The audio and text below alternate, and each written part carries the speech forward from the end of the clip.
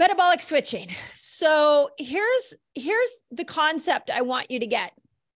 This is a big one. You are not meant to be in the same state all the time. So let's think about that. Let's think about that idea for a moment. Happiness. Let's just take happiness. I mean don't we all want to be happy all the time? But you're not designed to be happy all the time so when you're unhappy, we like try so hard to get back to happiness. But yet it's in the unhappiness or the trials and the tribulations that we can grow and we can learn more about ourselves in those moments than we can m- learn in the moments of happiness. So you've got, you know, the that as being, you know, sad depression and joy really being on two sides of the mental health conversation. Everybody's trying to get to joy all the time and they're negating the difficult moments, the depression, the anxiety. But in those moments, we can really truly find a, a, a way to tools to allow ourselves to be that much uh, more happy when we switch back. Um, temperature. Uh, let's talk about that for a moment. You're not meant to be at the same temperature all the time. So if you look at like cold plunges, why is everybody doing cold plunges and getting incredible results? It's because we've all been in eh, you know in an environment now where we have been keeping our temperature where we want it. We don't want to be too cold, we don't want to be too hot, and we're always trying to keep ourselves in that comfort level. And when we're in that comfort level, growth can't happen.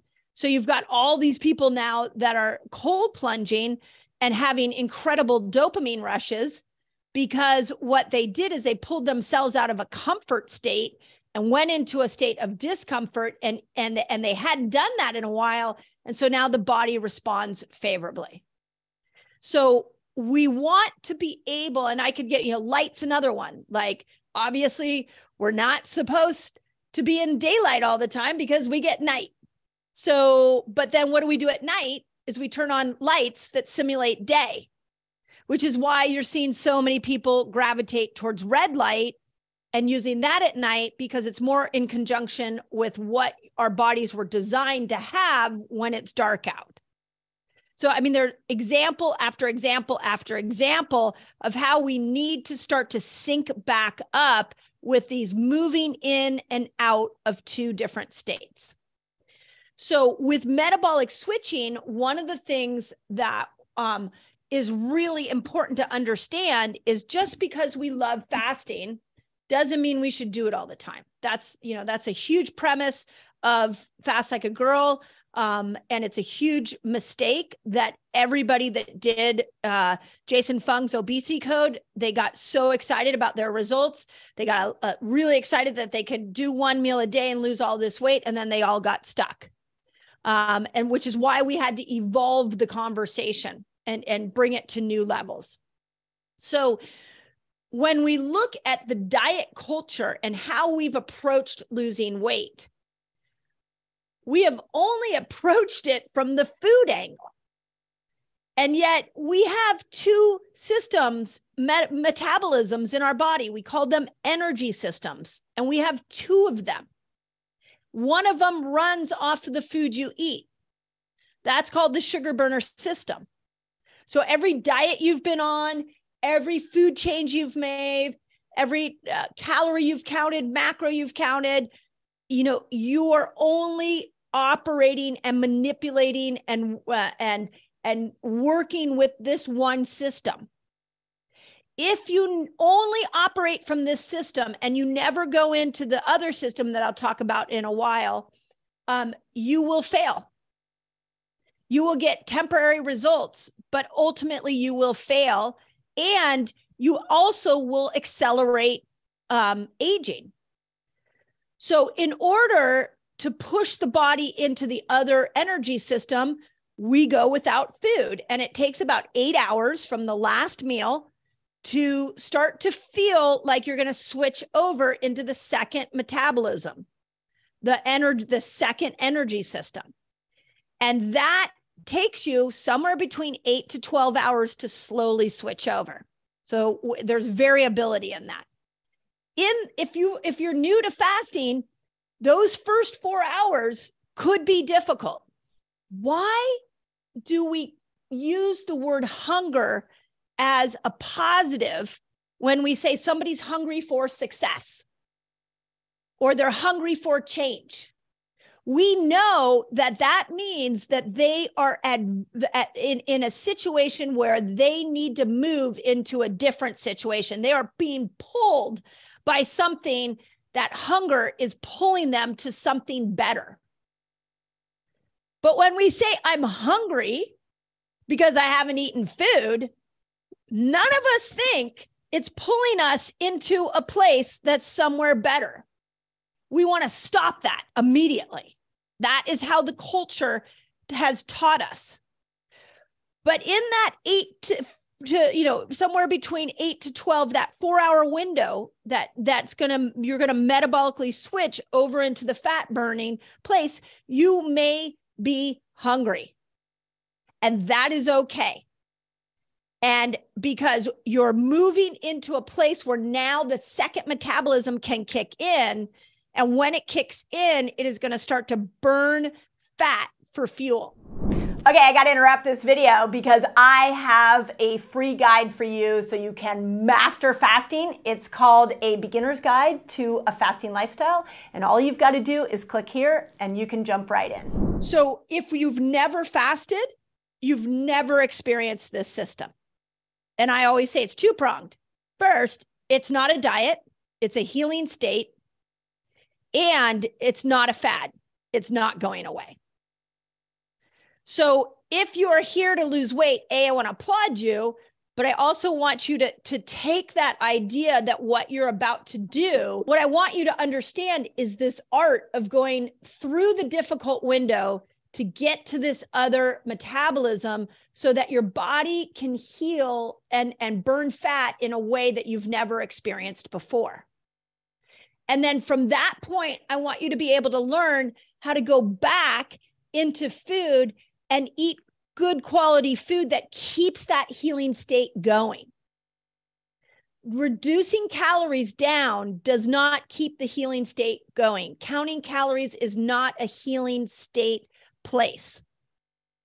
Um, counting points. I'm not. I'm not like anti Weight Watchers or anything like that. But it was just the points became a tool to give people control over their food to understand how far off the deep end they were getting.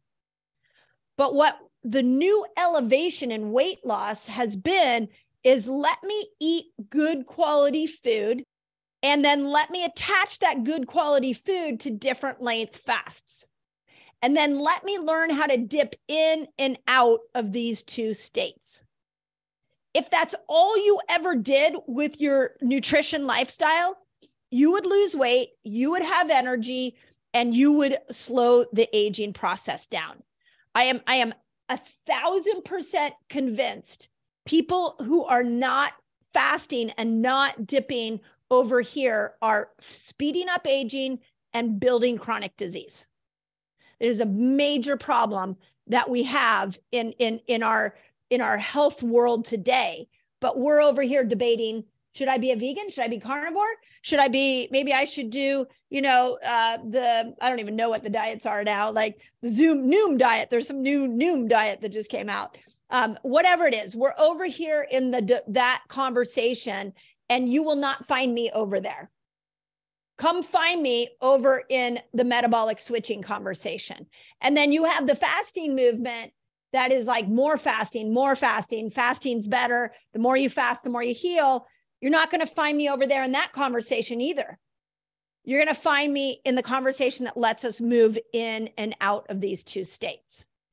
Now, you have a decision to make when you come on both of these places before I move into other other ways we metabolically switch. You you have a decision of how strong you want your sugar burner metabolism to be and how much healing you want your fat burning metabolism to, to access when you're over here. That is personal to you. So I have seen people who have decided that they love fasting. It keeps them where their weight it wants to be. They it's convenient for their workday, but they still are going to eat their their food that they want to eat, and they're never going to change that.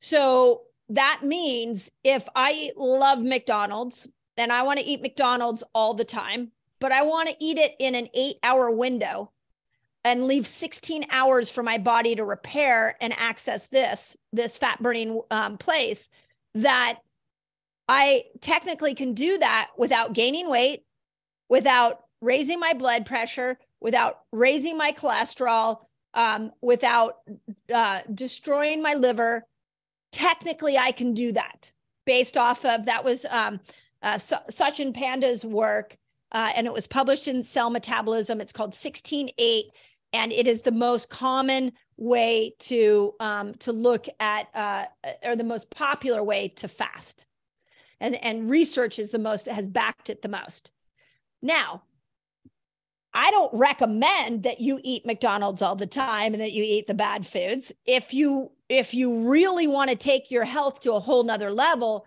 then let's clean this system up and the best way to clean this system up in the most simple place that I can tell you is stop eating bad fats.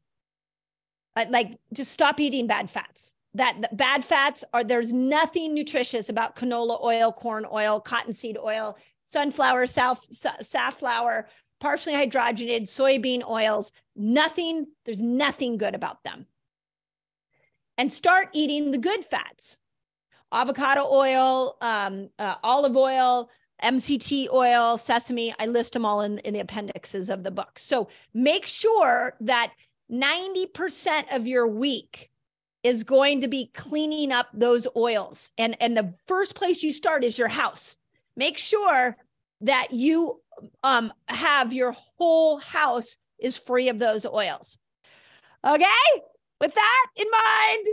So uh, just don't give up on yourself. You got this. I promise. So, okay, you trying to maximize your weight loss? Apple cider vinegar may be the key. Go check out this video where I show you exactly when, how, and why you want to use it for weight loss. Apple cider vinegar changes your microbiome of your gut. This good bacteria is going to help to bring your blood sugar down and make it so that you can switch over into the fat burning state